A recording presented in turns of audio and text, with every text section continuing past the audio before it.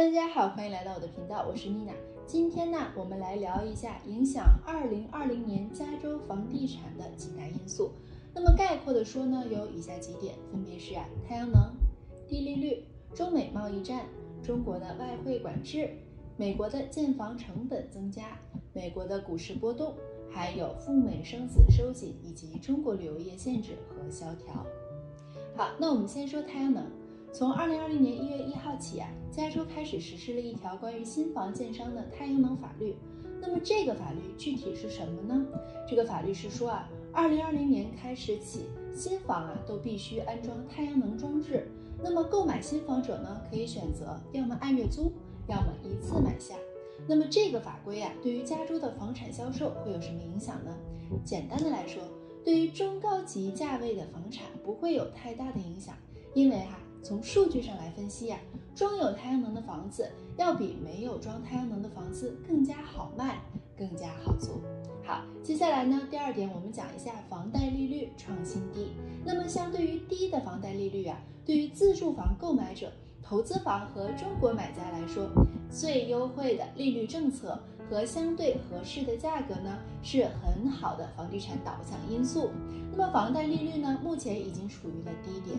继续下调的空间呢不是很多了，维持现状的几率是很大的。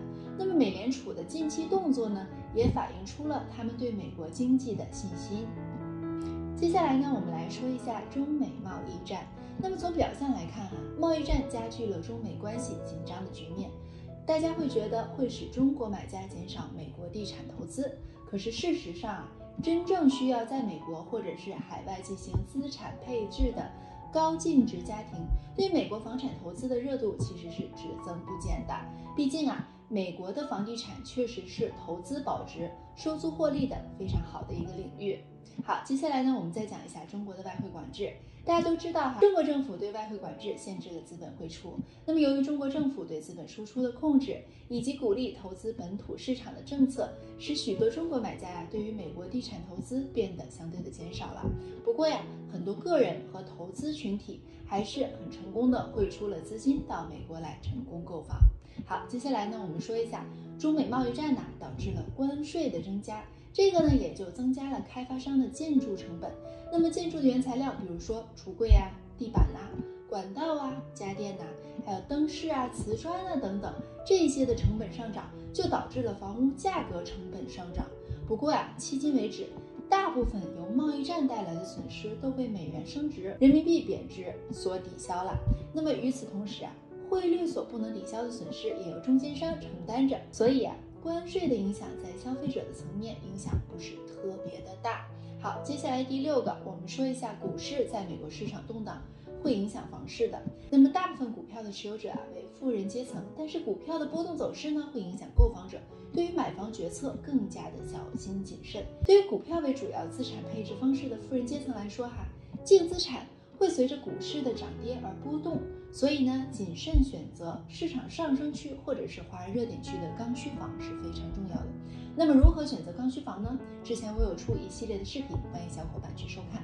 好，最后呢，我们再说一下赴美生子收紧和中国旅游限制和萧条。那么新移民政策法案呢，对于纯粹赴美生子为目的去签证有了新的限制。那么从这个角度来看呢，会给美国生子旅游业带来负面影响。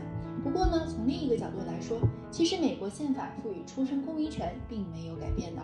不过大家都知道哈，近几年呢，在尔湾、核桃市、奇诺港、东谷以及科罗纳等等都设有月子中心。